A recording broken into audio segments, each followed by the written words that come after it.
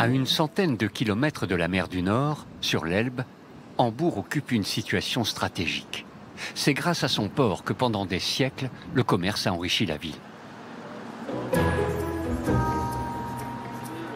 Le meilleur endroit pour en prendre conscience, c'est sans doute la Speicherstadt, un décor de cinéma. Bâti sur des marécages, c'est le plus grand complexe d'entrepôts du monde, une ville en briques rouges montée sur des pilotis en chaîne. Avec Arnaud, professeur au lycée franco-allemand, nous comprenons ce qu'était la ville de tous les négoces. À partir de là, on peut s'imaginer qu'on avait des, bateaux qui, permettaient justement d'entreposer aussi les différentes marchandises. C'était vraiment ce qui portait sur le commerce donc euh, entre l'Atlantique à partir de la découverte de l'Amérique, mais aussi avec la mer du Nord, les fourrures qui venaient de Russie par exemple. Le quartier est l'un des plus courus de Hambourg, un marqueur de la ville. Construire et faire du neuf, cela se fait partout. Le progrès est important. Mais il est important aussi de conserver ce qui a été fait avant pour que les plus jeunes comprennent comment tout cela s'est construit.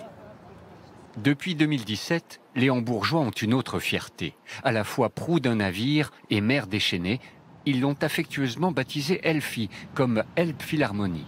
Si vous réservez à l'avance, vous pourrez assister à un concert ou un opéra pour moins de 50 euros. Est-ce un pressentiment? La nuit risque d'être courte. Il est temps de poser sa valise. Moin moin, Schlafen im Hafen est le seul hôtel flottant de la ville. À 110 euros la nuit, on peut trouver moins cher, mais pour Hambourg, c'est plutôt bon marché. Ce bateau a été construit juste avant la Première Guerre mondiale. Son précédent propriétaire l'avait acheté et devait partir à la retraite. Il a cherché à le vendre et j'ai trouvé cette péniche magnifique. J'ai décidé de la transformer en hôtel. Une visite du port s'impose. Nous trouvons la gare fluviale, notre bon plan est à 2 euros. Plutôt que de prendre un bateau réservé aux touristes, vous prenez une ligne régulière, la ligne 62, et ça vous coûtera beaucoup moins cher. Dans un port, on voyage par procuration. Où va ce bateau? Où ces marins seront-ils demain? Le rêve est à portée de regard.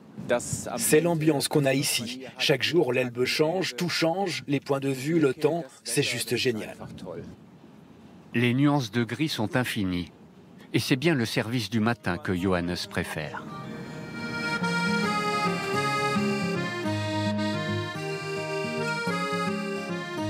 On passe de l'obscurité à la lumière. C'est beau le matin.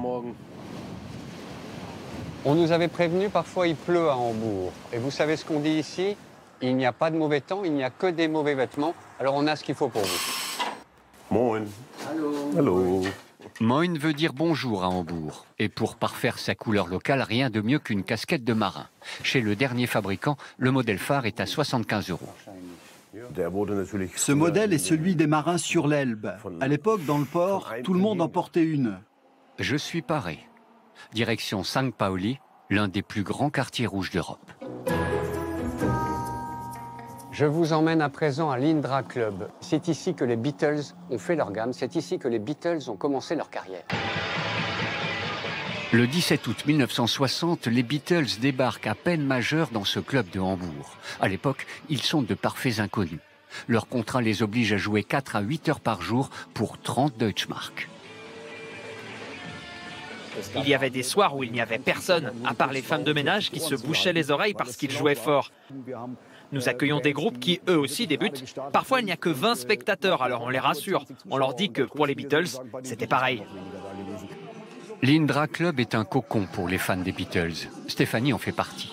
Elle a vécu longtemps ici, dans ce quartier de San Paoli, et sa réparban mondialement connue.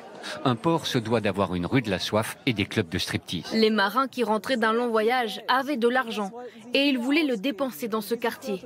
Alors ici, on a toujours fait ce qu'il fallait pour bien les accueillir.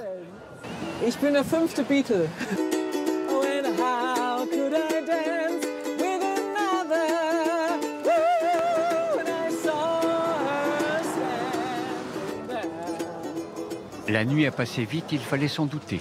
Et la journée commence avec du poisson frais. Tous les dimanches matins à Hambourg, c'est une tradition. Il y a un marché au poisson, le Fishmarkt, et c'est vraiment le marché le plus rock'n'roll que je connaisse. Dans la grande halle de la Criée, Un groupe assure l'ambiance, ou plutôt l'atterrissage des fêtards qui ne sont pas encore allés se coucher et qui croisent des touristes matinaux. Tous les dimanches, la ville se réveille avec les fischbrötchen, la spécialité locale. Un petit pain croustillant au poisson, souvent du hareng, avec des oignons rouges et une sauce locale sucrée salée, entre 3 et 6 euros. Obligatoire. Le marché au poisson, il faut y passer. Un fischbrötchen à la main et la casquette sur la tête, ça y est, vous êtes un vrai bourgeois. Avant d'aller à l'église, c'est tout de même le jour du Seigneur, nous faisons un détour par l'hôtel de ville, qui est aussi le parlement de la cité hanséatique. Ce palais compterait plus de pièces que Buckingham, près de 650. La plus connue est la grande salle des fêtes, 14 mètres sous plafond. Des peintures monumentales retracent la saga commerçante de la ville.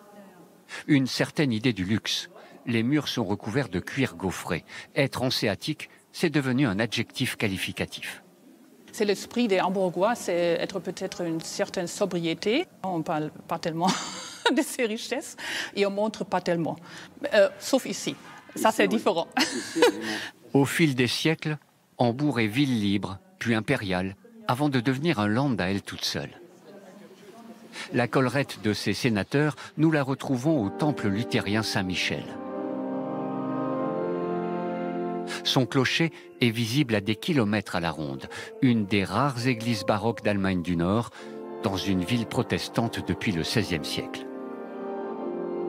Les habitants de Hambourg ont vraiment le sentiment que Saint-Michel fait partie de leur vie. Pour les marins, c'était la dernière chose qu'ils voyaient lorsqu'ils quittaient le port et la première lorsqu'ils rentraient de voyage. Impossible de quitter Hambourg sans visiter le musée de l'émigration. C'est d'ici qu'entre 1850 et 1930, plus de 5 millions de personnes venues de toute l'Europe ont choisi de larguer les amarres pour l'Amérique. C'était toujours un rêve qu'ils poursuivaient. Beaucoup quittaient leur terre natale, mais ils étaient pleins d'espoir.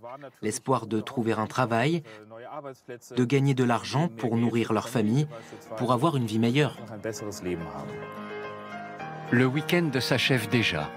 Dernière promenade sur la terrasse d'Elphi, vigie grandiose d'une ville ouverte sur le monde avec en mémoire les regards de ces émigrants. Eux aussi ont embrassé ces paysages, rêvant déjà du nouveau monde, dans cette fascinante lumière du Nord.